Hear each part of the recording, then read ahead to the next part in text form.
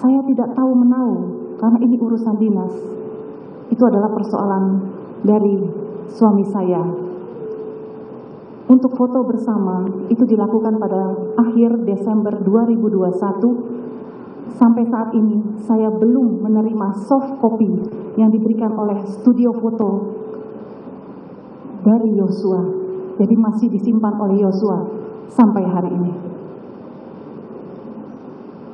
Dan selama cuti, saya tidak pernah mengganggu Yosua ataupun ADC lainnya karena itu sudah menjadi ketentuan yang diberikan oleh suami saya.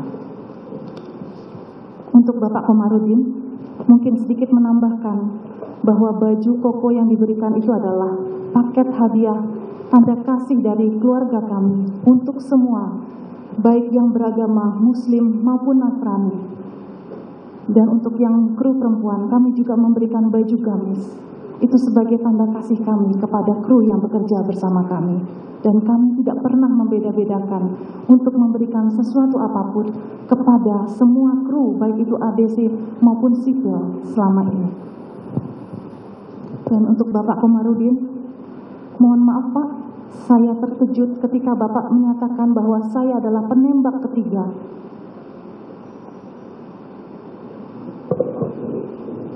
karena pada saat kejadian saya berada di kamar sedang beristirahat. Terima kasih yang mulia. Itu saja ya. Baik, terima kasih Saudara Putri. Yang mulia. Baik.